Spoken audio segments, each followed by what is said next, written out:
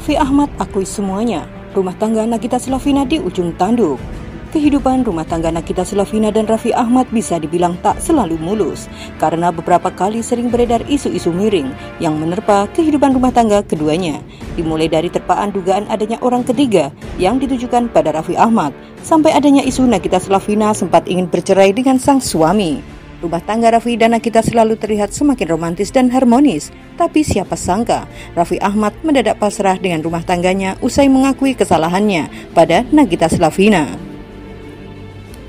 Namun sebelum lanjut, pastikan jari Anda untuk menekan tombol subscribe terlebih dahulu serta lonceng notifikasinya agar kalian tidak ketinggalan kabar terbaru dari channel Muara Informasi. Kalau sudah, mari kita lanjut dan simak video ini sampai habis. Pasangan selebritis yang satu ini memang tak ada hentinya mencuri perhatian publik. Mulai dari masa lalu Raffi Ahmad sebagai playboy pun masih tetap dibahas hingga sekarang. Bahkan banyak netizen yang menilai jika Nagita Slavina terlalu sabar dengan Raffi Ahmad. Sehingga banyak yang mengira bahwa Nagita Slavina tak bahagia dengan ayah dari dua anak itu. Usai menikah pun gosip miring tak ada hentinya menerpa Raffi Ahmad termasuk isu mengenai ia bermain panas dengan Ayu Ting Ting di belakang Nagita Slavina. Bahkan Raffi Ahmad juga diisukan tengah selingkuh dengan Mimi Bayu, asisten keuangannya sendiri.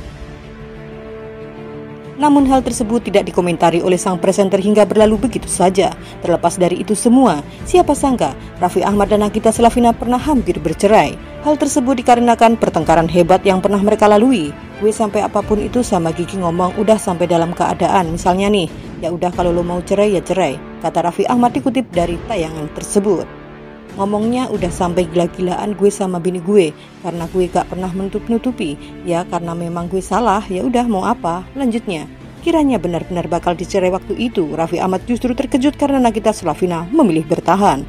Bahkan saat kabar miring ramai menerpa Raffi Ahmad, Nagita Slavina tak bergeming.